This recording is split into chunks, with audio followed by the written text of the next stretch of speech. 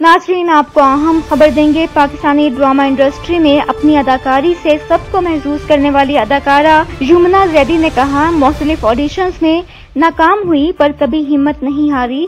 मुख्तलिफ़ ड्रामों में अपनी बेहतरीन अदाकारा से मद्दाहों के दिलों में जगह करने वाली अदाकारा युमना जैदी ने प्ले कार्ड्स के ज़रिए अपनी इंडस्ट्री में एंट्री से मुतलिक बताया, अदाकारा ने लिखा, वो मद्दाहों को कुछ बताना चाहती हैं कि वो हमेशा बचपन में एक ऐसी बच्ची थी जिसमें एतमाद की कमी थी, लेकिन मैं ख्वाब भी देखा करती थी। अदाकारा ने प्ले कार्ड्स के ज़रिए बताया कि मैं हमेशा टीवी पर अदाकारी करने की ख्वाहिशमंद थी, जिसके लिए मुख्तलिफ़ ऑडिशन दिए, जिसमें नाकाम हुई पर मैंने हिम्मत नहीं हारी और आज मैं इंडस्ट्री में अच्छा काम कर रही हूँ। अदाकारा ने कहा, कभी भी ख्वाब देखना बंद नहीं करें।